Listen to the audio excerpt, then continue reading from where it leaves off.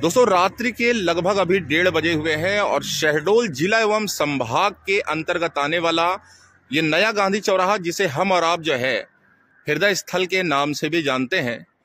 बहुत अच्छी आपको तस्वीर मैं दिखा रहा हूँ, सीधी तस्वीर आप देख रहे हैं।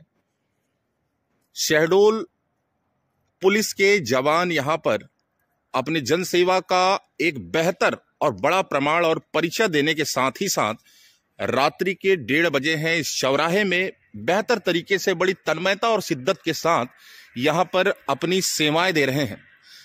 लगातार ऐसी सेवाएँ देने के साथ ही जो है, हम रात्रि के इस रास्ते से निकल रहे थे और ये सुंदर सी हमने तस्वीर देखी और हम यहाँ रुक करके, खड़े होकर के इन जवानों का एक छोटा सा वीडियो क्लिप बनाना चाहे कि वाकई में आप देख सकते हैं कि किस तरीके से रात्रि के कड़कड़ाते ठंड में भी, हालाँकि इनकी सेवा है, इनकी ड्यूटी है, निश्चित ही।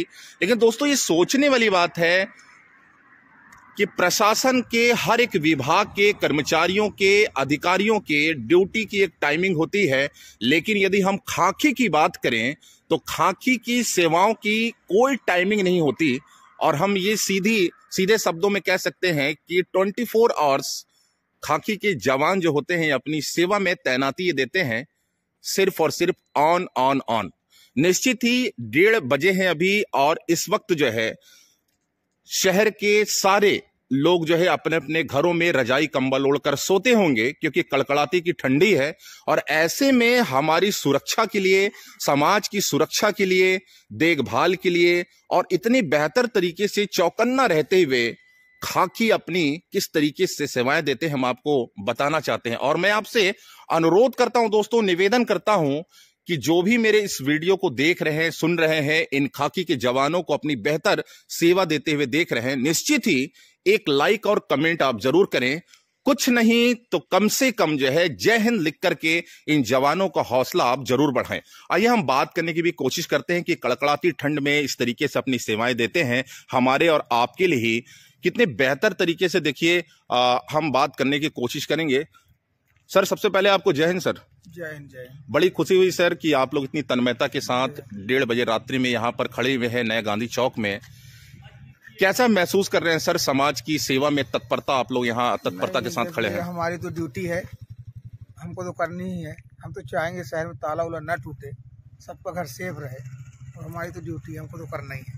दोस्तों जैसा कि बात आप। बिल्कुल जैसा कि ये दोस्तों आपको जानकारी होगी कि अभी विगत आ, कुछ दिनों में काफ़ी जगह छोटी मोटी चोरियाँ भी हुई और निश्चित ही अपनी बेहतर सेवा का प्रमाण देते हुए शहडोल पुलिस ने जो है बड़े एक्टिव होते हुए उन आरोपियों को धर भी दबोचा जो है और उस दिनांक से लेकर के अभी वर्तमान तक चौक चौपन्ना व्यवस्था भी है और निश्चित ही पहले भी बेहतर तरीके से इन जवानों के द्वारा जो है सेवाएँ दी जाती थी, लेकिन ऐसी ऐसी घटनाएँ जो घटित होती हैं, उसको देखते और सुनते हुए भी शहडोल पुलिस जो है बेहतर सेवा का प्रमाण देते हुए चौक चौपन्ना व्यवस्था के साथ जो है यहाँ नया गांधी चौरा में खड़े हैं। हम सैल्यूट करते हैं शहडोल पुलिस को शहडोल जिला पुलिस को और साथ ही संभागीय पुलिस को वरिष्ठ अधिकारियों को और खास करके जो है अभी रात्रि में जो अपनी सेवाएँ दे रहे उनको। क्या नाम है सर आपका?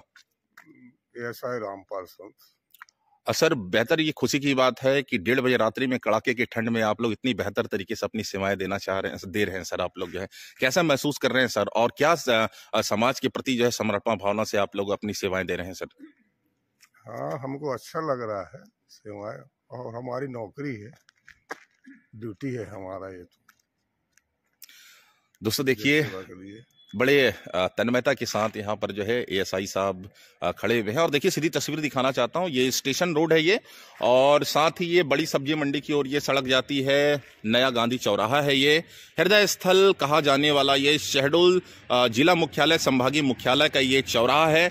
यहाँ गाड़ियाँ आती जाती रहती है, लोग निकलते आते जाते रहते हैं। और कोई भी ऐसा संदिग्ध तरीके से यदि कोई दिखाई देता है तो उनकी ये पतासाजी करते हैं, उनसे पूछताछ करते हैं। और निश्चित ही जो है एक सराहनीय पहल है। मैं फिर से एक बार जो है शहडोल जिला पुलिस बल को और साथ में संभागीय पुलिस बल को मध्य प्रदेश पुलिस को दिल से जो है सैल्यूट करता हूँ और आस अपेक्षा करता हूँ कि ऐसे ही हमारी शहडोल और संभागीय पुलिस जो है अपनी सेवाएँ निरंतर देती ही रहेंगी। दोस्तों, फिर से एक बार आपसे अनुरोध है, निवेदन है कि इन खाकी के लिए, इन जवानों के लिए आप जहन लिख करके इनका हौसला ज़रूर बढ़ाएँ, क्योंकि आपके और हमारे और समाज की सुरक्षा के लिए लोग इतनी बेहतर तरीके से तन्मयता के साथ जो है, कड़ाके की ठंड में भी यहाँ पर खड़े होकर अपनी सेवाएँ दे रहे हैं। बहरहाल ये वीडियो आपको कैसा लगा, इन जवानों की सेवाएँ आपको कैसी लगी, लाइक, कमेंट कर कर आप ज़रूर बताइएगा। जय हिंद, जय भारत।